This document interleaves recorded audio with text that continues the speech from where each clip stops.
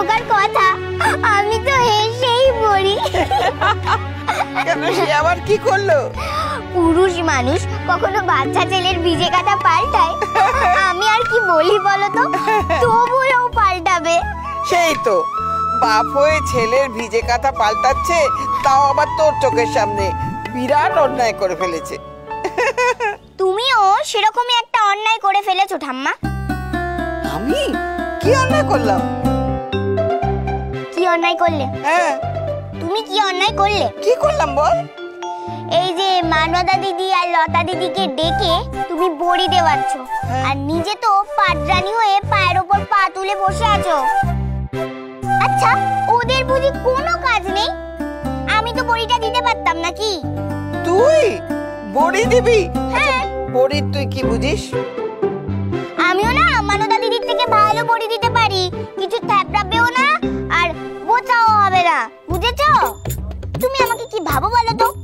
আমি বড়ি সব বুঝি। আমি তো আর রেখার মতো ছোট্ট নেই। হ্যাঁ তোমার তো তিন কাল গিয়ে এক কালে ঠেকেছে বয়স। তবে?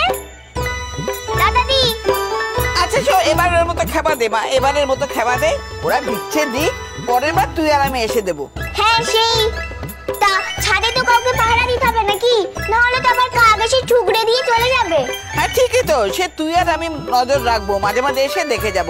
এখন চলে আয় চলে আয় চলে আয় বলছি। ও ঠাম্মা আমি বড়ি দিই না বলো। আমার খুব দিতে ইচ্ছে করছে আমি দেবো। ও মা! গিন্নি যা গো ধরেছে দাও না গো দুটো বড়ি দিতে দাও দাও। ও মা ওই যখন বলছে এত করে তা একবার দাও না বড়ি দিতে। ওরানু আয়।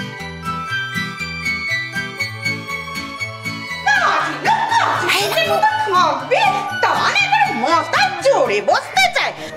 দুবেলা একটা রান্না করে বলে একেবারে দেমাকে মাটিতে পা পড়ে না। হ্যাঁ?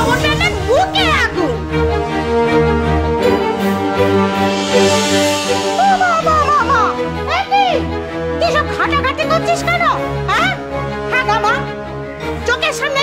তুমি কিছু বলতে পারছ না? কি অনাথ সৃষ্টির খণ্ড রে বাবা? এ বাড়িতে দেখে সব পান খাই ব্যাপার, স্যাপার। ও হেম আয় এদিকে আয় আয় আয় আয়। কি আর বলব মা শুনি হ্যাঁ? তোমার লাই পেয়ে পেয়ে তো সবাই ছুচার কীর্তন করছে বাড়িতে। কি হয়েছে বলো তো পিসি?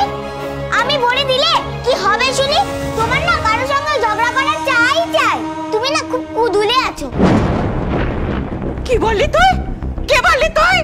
ও মা শুনলে তুমি কথাটা? তোমার মা ঠিক শুনেছে। তুমি মহা কুদুলে আছো।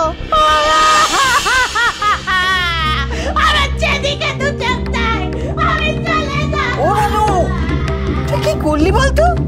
আরে ও যা বলে বলুক না। তুই এত কথা বলতে গেলি কেন? এখন দেখ কি কাণ্ড করে। আরে বাবা তুমি চিন্তা করো না। আমি আছি তো।